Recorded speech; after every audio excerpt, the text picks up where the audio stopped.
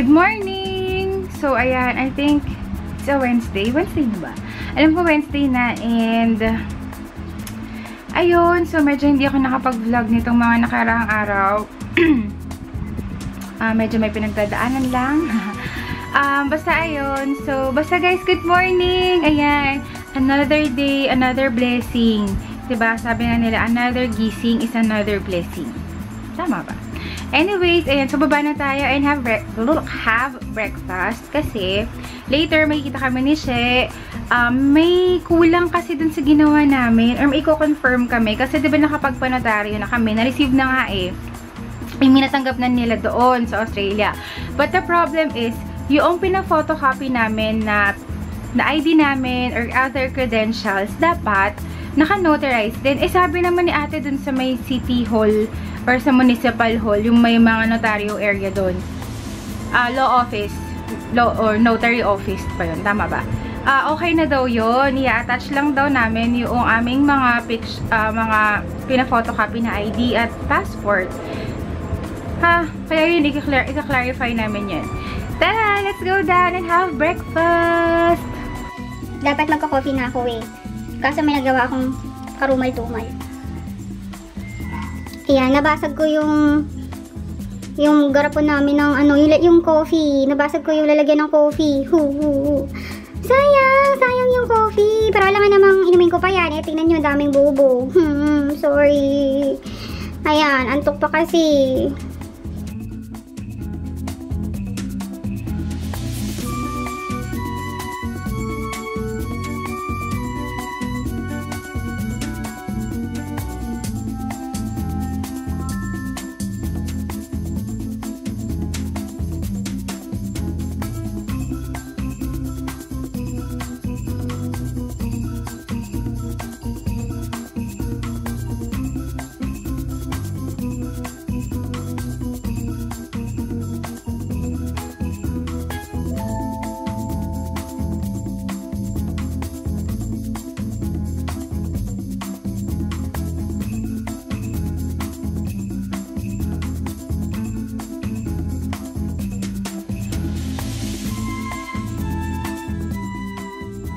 Ko na siya linisin. Tapos, siya sakit na leg ko. Sini-stiff neck talaga ako kahapon pa to. Sana huwag na mag-progress. Pero ayun nga, magagamot. Nagamot na ako kahapon eh. Pero parang ngayon, parang mas lumala oh. Ang tindi ko pa naman mag-stiff neck. Anyways, later sila, kain muna ako. Hello, ayan. So, ang plano talaga namin ni BFF, maaga kami nga alis. From 8, 8 to 9, naging 9 to 10. And then, um, kasi nga, nakalimutan ko rin na na-reschedule na, na pala kami kasi kahapon, pagalis namin ni Papa, um, tumawag din yung Globe.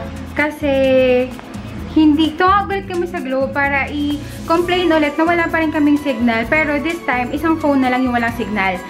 Kasi mayroon kami extension phone sa taas na kwarto nila mama and that phone is not working. So, I immediately called Globe again and then informed them my concern and then I have forgotten all about it and then ngayon ko lang naalala.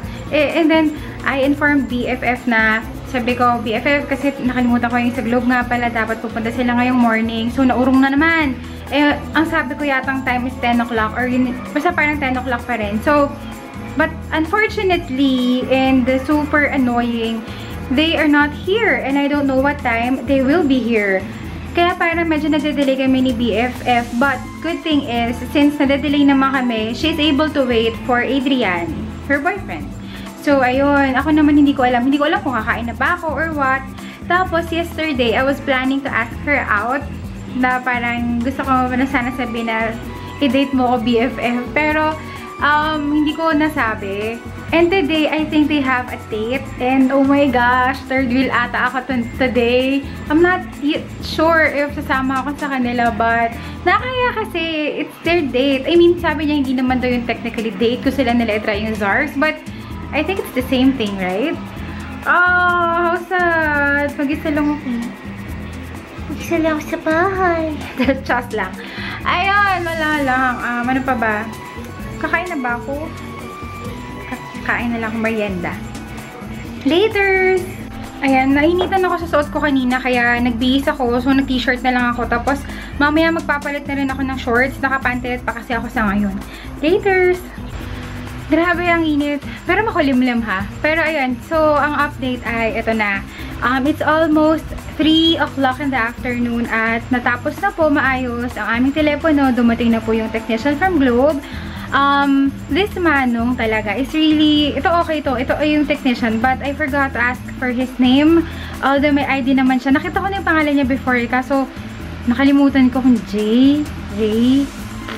Anyways, okay siya. Okay itong technician nila na to. However, for the other two, hindi ko talaga nagustuhan yun. Kasi this is actually the third or the fourth time na someone came para ayusin itong aming telepono. Ay, yeah, oo. Kasi dalawang beses na siya, tapos may two other. Oh, yeah. I think this is the fourth. Ayun. Tapos, um, ayun, mag-ayos na ulit ako. Mag-ready na ako ng gamit ko. Kasi nga, magkita kami ni Cheryl. Siguro sabi nila, alis sila by 2, ay, or, ay, mali pala ako ng time. Eh, dito ko si Relo. Tapos, natatingin ako doon. Advance. My gulay. As I was saying, ito na, ito na, ito na. Seryosong oras na po ito.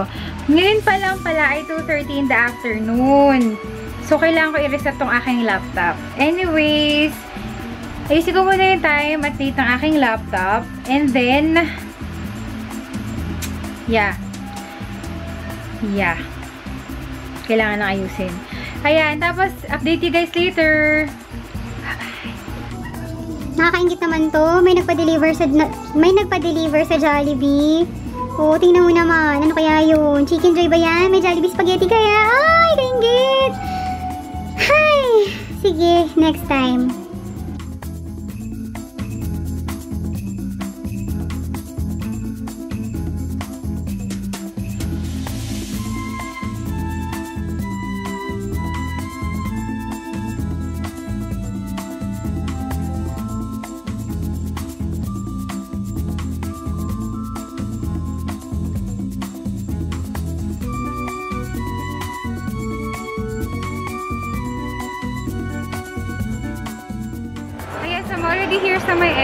Pero dadaan muna ako ng BPI kasi mag-withdraw ako ng pera na pambayad ko kay Bits kasi nakaride ako sa credit card niya. Si Cheryl and si Adrian na sa may CR. So later, magkita kami or sunod sila sa akin sa may BPI. Later!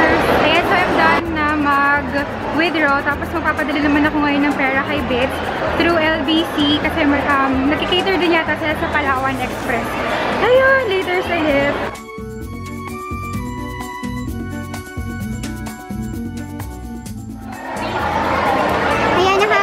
Pila sa Zart. Grabe, ang haba! Dito, hanggang dun pa talaga. Hanggang dun sa kabilang dulo. Ayan, so hindi na kami natuloy sa Zarks kasi sobrang haba ng pila tsaka sobrang dami ng tao. Kaya nandito kami sa Bagnetify.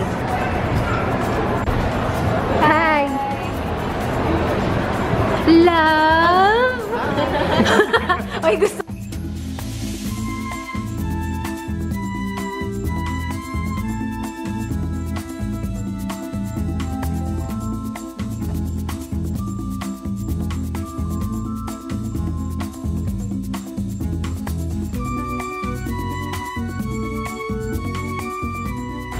Hey guys, and so I'm finally home at 9 o'clock na ako nakauwi kasi as in nagsasarado na talaga SM nung pauwi na kami. Tapos, actually hindi, past 9 na pala. Oo, kasi nung pag-uwi namin, malapit na magsara yung SM. Tapos, naghintay pa kami ng masasakyan nila na jeep pa uwi. Kasi hinatid ni Adrian si Shea sa Paranaque. Um, isang, isang jeep lang naman siya. Tapos, ayun, so kanina after namin kumain sa Bagnetify, okay naman pala doon. First time ko kumain kasi doon. Um, yun yung, yung mga pictures na before tong clip na to, ayun yung mga kinain namin. Tapos, plus yung video para kinunan ko rin naman, ba? Ayun, yun yung mga binili, ah, kinain namin. Actually, masarap naman lahat. Pero medyo parang hindi ako satisfied. Lord, sorry. I mean, ibig ko sabihin kasi ang gusto ko talagang try nung ngayon, mag-Zarks. Kaso, nakita nyo naman, ba sobrang haba ng pila, grabe. Parang ano to, blockbuster na pila para sa movie. Ganun kahaba talaga. Talaga tsagaan. Ewan ko. Pero sa ibang Zarks naman, parang hindi naman excited yung mga tao. Hmm, bakit kaya? Or siguro kasi bago lang dito sa Bacoor. Kaya, um, sa SM Bacoor kasi siya. Tapos, siguro bago lang or parang, ewan ko. Ayun. Tapos, ano pa ba? So, after namin kumain sa Bagnetified, ayun, reschedule na lang ang Zarks. Um, so, after namin kumain sa may Bagnetified, pumunta kami ng ano, department store. Tapos, nag-ikot-ikot pa muna kami, nagpababa ng kinain. Tapos, pumunta rin kami ng grocery. Na supermarket pala. Tapos, nag-grocery na kaunti.